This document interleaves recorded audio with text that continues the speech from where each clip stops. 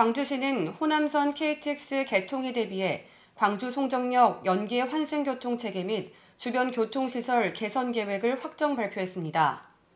광주시는 첨단에서 수원, 광주 송정역을 연결하는 송정 33번 시내버스 등두 개의 노선을 신설하고 상무 22번과 진월 75번, 공항버스 노선을 조정 연장해 운행하는 등 광주 송정역과 시내버스 연계 환승 체계를 대폭 강화합니다.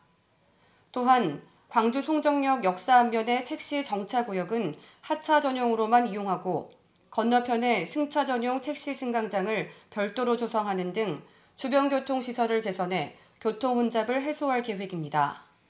이와 함께 현재 추진 중인 도산동 송정 1교에서 용봉동 나주시계 간 도로 확장 사업은 편도 1차로에서 편도 3차로 교량으로 재가설하는 등 주변 도로 확장에도 박차를 가할 예정입니다. YBC 뉴스 최선영입니다.